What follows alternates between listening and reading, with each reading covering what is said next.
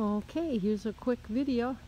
This is the big 20 dog kennel with the uh, new lean-to on it. I'll show you the other lean-to. Notice the great skull on the top of the near the roof there. Pretty cool. Pretty cool. Doors work. what the heck? We got it made in heaven.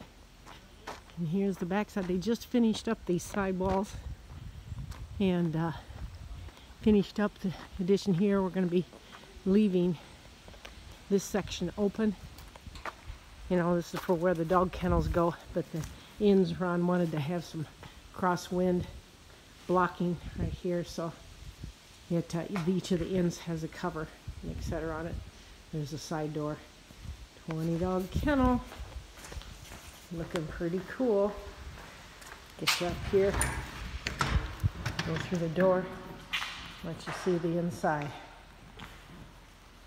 And that's into the whelping room, etc. And then on to, I actually closed it up and let a couple of dogs just exercise in here. And then the east side. And that's the little kennel or all the, across the street with all the crazy dogs in it. It's full right now. Looks like I got some poop to pick up. There's a guy. Everybody's having fun. Head back up so you can see that a little better. There we go.